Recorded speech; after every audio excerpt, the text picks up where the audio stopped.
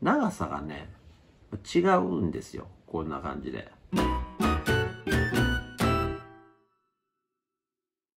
えーとですね、ちょっと、えー、またまた急遽回してます。で、えー、ちょっと机の上に、まあなんかすごいごちゃごちゃしたものがあるんですけど、とこれが、ちょっとこの間ね、取り外した PZ20 のキャブと、えーキャブ、あ、ちょっとうまくなんかはまらんね。はい。PZ20 のキャブと、で、ちょっとこっち、ちょっとね、もうあのボディが歪んじゃって、あの使えなくなった PE26 キャブです。で、ちょっとなんで今回ね、これを用意したかっていうと、こっちの、えー、っとね、ちょっと邪魔だな、これ。よいしょ。とですね、こっちの、えー、PZ、PZ に、えー、MJN のノズルを入れたんですけど、ちょっとね、やっぱりね、あの、ジェットホルダーが短くて収まりきらないんですよね。で、えー、で、今回この、こいつ壊れた PE26 から、ジェットホルダーを取り外して、で、そいつをこっちに移植したらどうなのかなっていうふうに思いました。で、これがそのジェットホルダーなんですけど、長さがね、違うんですよ。こんな感じで。こんな感じで。だから、えーネジのところの長さでいくと、こうか。こんだけ違うっていう。だからこっちだったら、えっ、と、ちゃんとノズルが収まるんで、で、これがはまるのかどうかっていうことで、ちょっと一回もう、こう外してあるんですけど、ここに、P26 の、まあ、多分これ PWK とかもね、このサイズなんで、入れてみて、試したところね、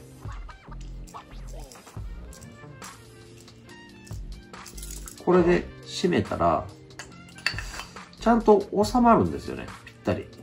浮くこともなく。これで、いけば、えー今ね、ちょっと MJN のノズルあの、えー PZ16 の方についてるんですけど、ちゃんとこう収まるんじゃないかなと。これで。で、あとね、あの、ちょっとね、これにね、変えた理由っていうのがあって、今日もちょっと、午前中、朝、朝一で、このメインジェット変えたんですけど、これね、メインジェットがね、もうこう小さすぎて、番手が何番書いてるのかね、正直ね、見えないって、読めないってね。あの、ちょっとね、僕ね、あの、もともと禁止なんですけど、禁止でね、あの、週末とかちょっと疲れてると見えないんですよね。禁止で、ちょっと最近ね、老眼も入ってきて、だから近くも見えないんだけど、あの、遠くも見えない。遠くも見えないし、近くも見えないっていうね、禁止で遠視？遠視？禁止で老眼っていうね、ちょっとね、あの、よく見えないっていうのが起きちゃって、で、そうなってくるとね、もう番手が読めないんで、で、困ったなと思ったら、もうだったら大きいメインジェット、台の方をつければ読めるんじゃないのかなと。こっちだったら読めるんですよ。で、あと、普段、えー使ってるセットが、これね、もともと、あの、VM22 に使ってたやつなんで、本当はまあ、三国用のなんですけど、これなら、えー結構、揃ってるんで、いけるんですよね。合わせれるんで、だからこれで、ちょっとまた組み込んでいこうかなと思ってます。で、あとね、ちょっと実験だったんですけど、えー、っとね、本物の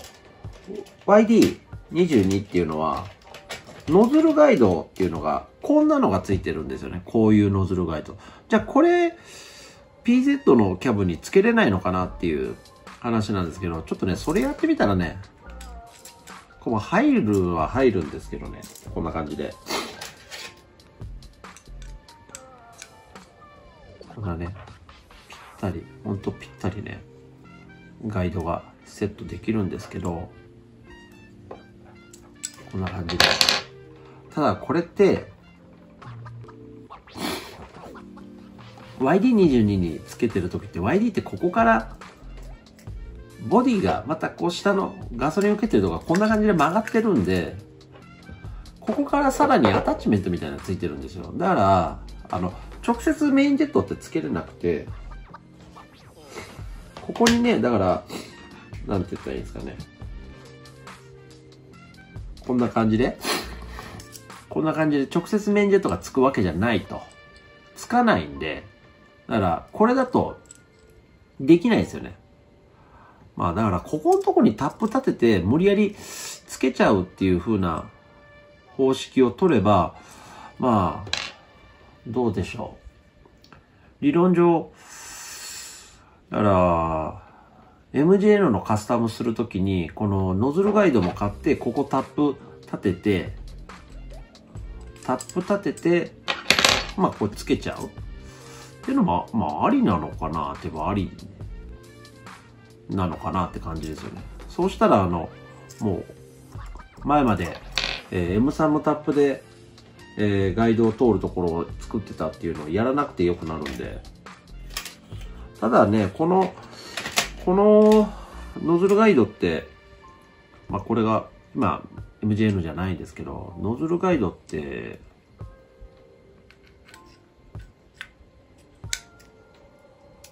これね。逆か。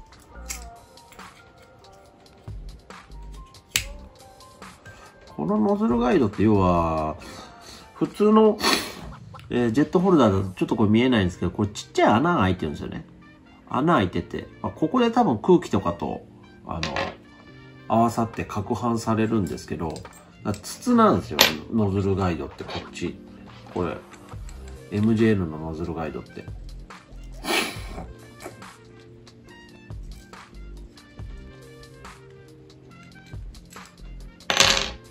れね、これどこも穴開いてなくて、それになったら、どうなるんだろうってね。あの、ガイドがなくて。あ、ガイドがなくてじゃなくて、穴が開いてなくて。穴開いてないやつでそんなことしちゃったら、どうなるんだろうねって。吸ってくれるのかっていう、ちょっとそういう心配もあるんで、なんで、ちょっとまずは、えー、まあ、大きいね、キャブのノズルガイドを、えー、PZ の方にこう移して、やっていこうかなと。要はこれ PZ の方でそれでうまくいけば、あのー、PZ の方というか16の方でうまくいけば、これ20の方も同じ作業でできるはずなんですよ。で、16って、あの、売ってるは売ってるんですけど、あの、アリエクスプレスとかで、まあ、要は海外から買わないと買えないんで、なかなかね、日本ですぐ手に入らないですし、えー、PZ のね、20だったら安い時は本当にその700円台とかで買えるんですけど、えー、16もね、700円台なんですよ。だそうなってくると、16と20だったら20買った方が、まあ、いいのかなって僕は思ってるんですけど、今回だからたまたまね、あの、手元にあったのと、あれはだから、あの、中華エンジン買った時についてくるおまけなんですよ。で、えー、安いし、おまけだし、なら試してみようっていうことでやってたんですけど、まあ20買ったらいいんじゃないかなと思ってます。だからこれでね、こんな感じでつけると。で、ここの番手も大きく、大きいやつになるから、あの、あの、何番ついてるから読めるっていうね。あの、ちょっとそこ、そこが狙いだったんですけど、近眼と老眼が同時に来ちゃってるんで、えー、それでちょっとやってます。で、あと、えっ、ー、と、この、スロージェットが買えるやつないですよっていう話をしてたんですけど、ちょっとね、これ、今日、手元にある、えー、っとね、三国の、えー、パイロットジェットを入れてみたら、使えたんですよ。てか、ちょうどサイズがそれで、だから、そ、それ使ったら、パイロットジェットもちゃんと交換できるんで、いいやっていうことが分かりました。だからこれちょっと一回外して、これがだからもともとついてる、えー、パイロットジェットなんですけど、なんかこれね、ちょっとあの PC20 用のやつだとここスカスカになるんですけど、これが三国のジェットだといけるっていう。えー、っとね、ちょっと、これか、この中に確か入れてたはず。ああ、ちょっと花粉がひどくてすいません。えーと、これは、えー、PWK のやつだったか。これじゃ、これじゃダメか。えっとね、ちょっと、今、PZ につけちゃってるんですけど、ちょっとね、今手元に折れちゃ、間違って折っちゃった、えー、みくりのやつしかないんですけど、これ、これあの、みくりのジェットなんですけど、これなら、スッとね、そのまま入る。っていうかもう、ドンピシャで使えるんですよ。これで、こんな感じで。そうそう、こんな感じで、えー、使えます。だから、あの、ジェットが、だから、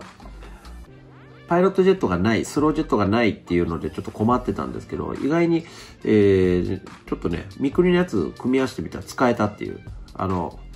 そんな感じになってます。だから、あの、もし PZ のキャブを買った場合は、スロージェットは、えっ、ー、と、だからあの、三国のやつですね、VM22 とかで使えるやつを買ってもらったら使えます。ただね、番手のね、表記がね、あの、三国のやつってあの、景品の、えー、キャブとかとちょっと違うんで、ちょっとそこは注意しないといけないんですけど、えー、まあ使えます、これで。まあちょっとね、そこがね、今日朝やってみただけでね、分かったんで、えー、明日ちょっと試してみようかなと思ってます。で、今日はね、あの、PZ16 の方に、えー、三国のパイロットジェットをちょっと入れたんですけど、ちょっと手持ちで、あの、折れてないやつがもうあの、あの、1本しかなくて、あの、15っていうむちゃくちゃ薄いやつだったんですけど、それだったらね、指導すらできなかったんで、えー、ちょっと、えー、今、アマゾンで頼んでるんで、それが届いたら、試してみようかなと思ってます。まあ、しかしね、ちょっと、あのノズルがだから収まりきってなかったから、だから少し浮いてる状態だったんで、あの下が、あの、濃すぎる。要はあのちょっと開けた状態の穴の数メインジェットの、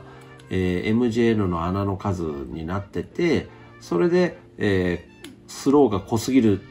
ていう症状が出てたんじゃないのかなっていうふうなところもあるんでひょっとしたらあのもともとついてる35相当なのか38相当なのかわかんないですけどそれだけでもいけたかもしれないですまあただどっちにしろあのメインジェットねあのちょっと番手がね、何番の書いてるかもう読めなくて、それが困るんで、そっちに変えようと思います。だから、これがね、あの、景品、景品とかの、章ってやつなんですけど、もう、こうも小さくてね、これ何書いてるかもわかんなくて、明るいとこで見ても何番かわかんないんですよ。まあ、ちょっとね、それがあるから読めないんで、えー、なので、この、えー、ジェットホルダー自体を変えてみたらいけるんじゃないかっていう、そんな、ところです。多分ね、それでいけると思う。それでね、いけるんじゃないのかなと思ってます。えー、えー、これと、だから、これをだから、入れて、入れて、入れて、入れて、逆か。これ入れてこの PWK 用の PWK とか PE 用のホルダーをセットすればこれもぴったり入って長さも元ついてたやつよりも長いんでちゃんと多分これならね収まりますこれなら MJ のがちゃんと収まるとこれでいけるんじゃないかな。これで多分ね、あのー、ちょっと、走行動画見てもらったら分かったと思うんですけど、あの、だいぶシビアでね、あの、ススローがどうにもならないというか濃すぎる状態だったのそれ多分ね、大丈夫になるんじゃないかなと思ってます。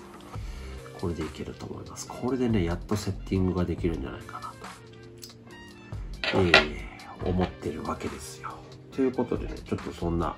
えー、急遽思いついたやつを、えー、ちょっとや、動画にしてました。ただちょっとね、これ、これ、だから、あの、それが落ち着いたら、えー、この、ジェットホルダーは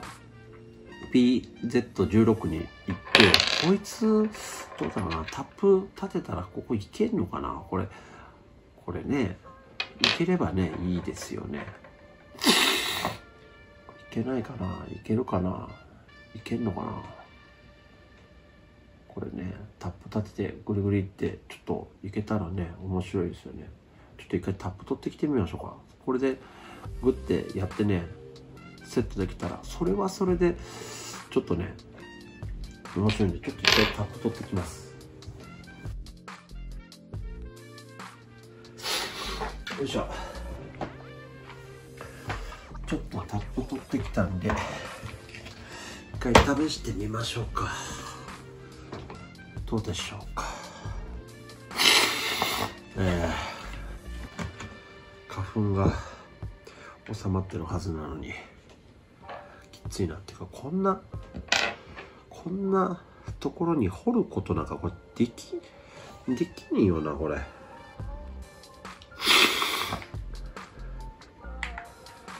これだからどのサイズかもよくわかんないしな。えっ、ー、とこれが？7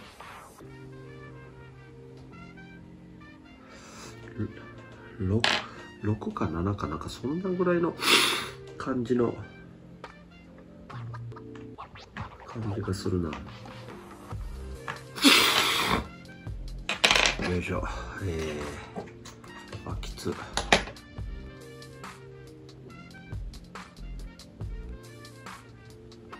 ってことはないな。5ってことはない6か7だな。えー、ちょっと一回調べよう。メインジェットのピッチってなんなんいくつなんだろう。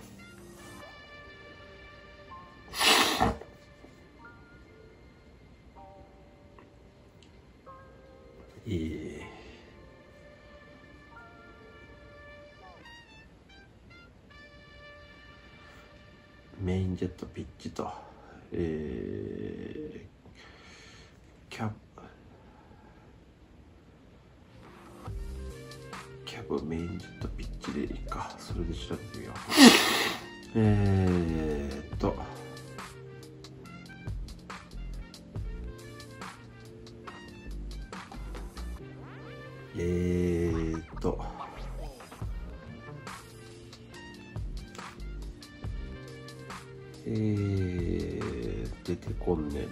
ですね。いくつなんだろう。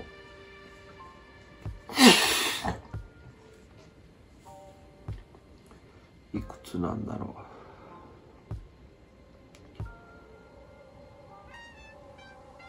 これはいくつぐらいなのかな。えっ、ー、と景景品丸大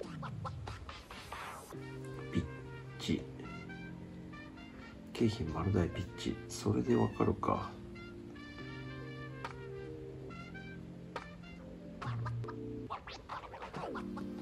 ジェットレスは経費丸大と丸小の互換性、えーと、これでわかるかいね。えー、丸大は全長 6mm、直径 6mm、えー、全長 9mm、直径 6mm。違う違う違う違う違う。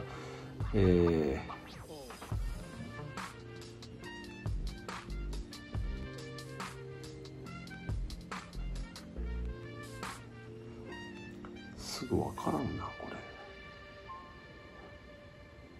6とか多分それぐらいかな。えー、景品丸大。景品の丸の大。景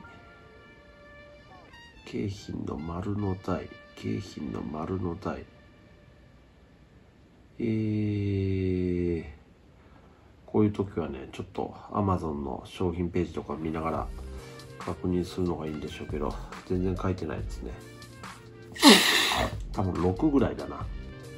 わかんないけどこれのピッチが普通どれぐらいなのかがねちょっとさっぱりわかんないけど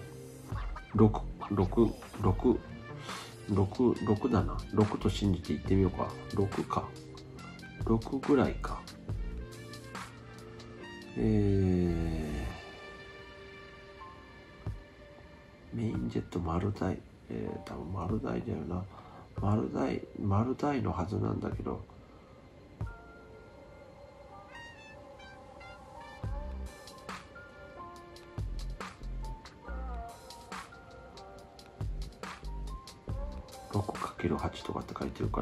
からピッチは6だな。6ぐらいか。6ミリってどこか。6かな。多分6でしょう。ちょっとじゃあえっ、ー、と6の針針を針じゃない。もうちょっと目がよく見えないからな。マジ、よく見えないからな。嫌だな。これ、6、6って書いてる。M6。ほんまに 6?6 もある？これ。6もありますかねこれは。同じぐらいか？いや、絶対そんな6も。6あるかねこれ。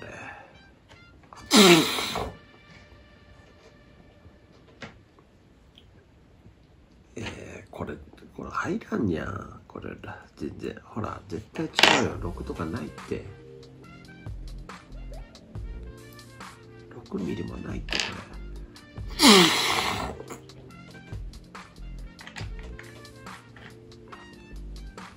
れでも6ぐらいなような気がするな。5ってこともないでしょう。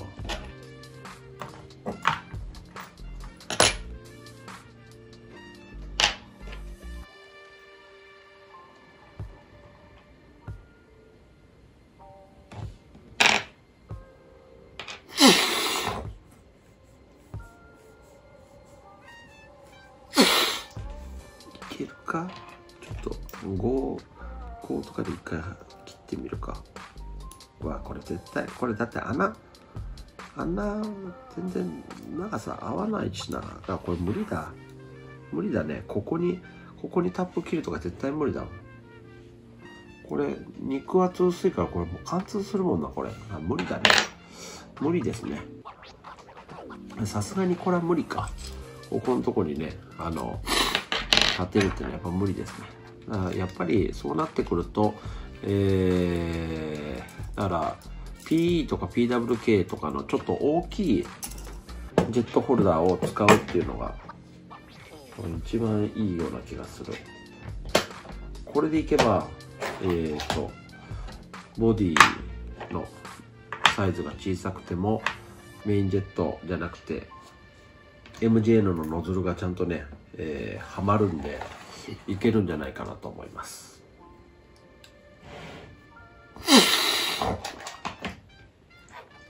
いしょ。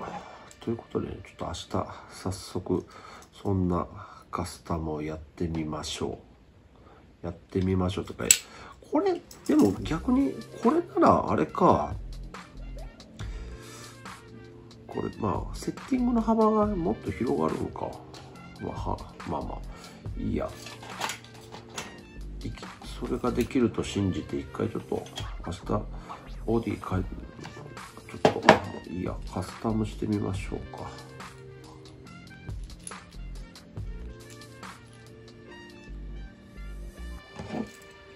今日はそんな、えー、うだうだうだうだ喋ってるそんな、えー、配配信というか、えー、動画でした。ちょっと一回戻しときましょうかね。まあ安いキャブだからそういうあの壊れてもいいかと思ったらカスタムできるんですよ、これ。だから高いやつだったら、壊れたら、もうなんかすごいショック、でかいじゃないですか。高いやつ買ったのに、みたいな。オークションでやっと手に入れたのに、みたいなね。結局、そういう思い切って壊れてもいいかって、なんかこれだったらだって僕それ買った時700円とかそんなんだったんで、失敗しても、ね、食事1回分ぐらいみたいな、それぐらいで我慢できるんで、まだね、諦めもつくんでいいですけど、あんまりね、高いやつでね、失敗したらもう、もうショックでショックで寝れなくなっちゃうんでね、結構ね、この、こいつも気に入ってたんですけどね、この、